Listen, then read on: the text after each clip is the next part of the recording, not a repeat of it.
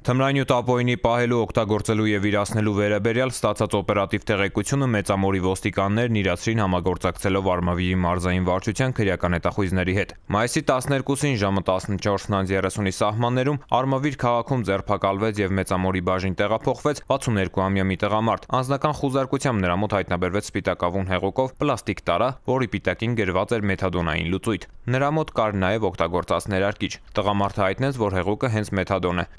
Իրավապահներն արդեն ճշտել էին, թե ով է 62-ամյա տղամարդուն իրացրել թմրանյութը։ Ավելին, իմացել էին նաեւ, թե ել ում է նա վաճառել մեթադոն։ Նախ ձերբակալվեցին գնորդները՝ Մեծամորի բնակիչ 47 եւ 38 տարեկան տղամարդիկ։ Նրանց մոտ նույնպես հայտնաբերվեց ներարկիչներ ու փակ սրվակ։ Ի վերջո հայտնաբերվեց, ձերբակալվեց ու բաժին տեղափոխվեց նաեւ իրացնողը՝ Մեծամորի բնակիչ 38-ամյա տղամարդը։ Նախաձեռնվել է քրեական վարույթ, իրացնող 38-ամյա տղամարդը կալանավորվել է։ Նախաքննությամբ հանգամանքները պարզվում են։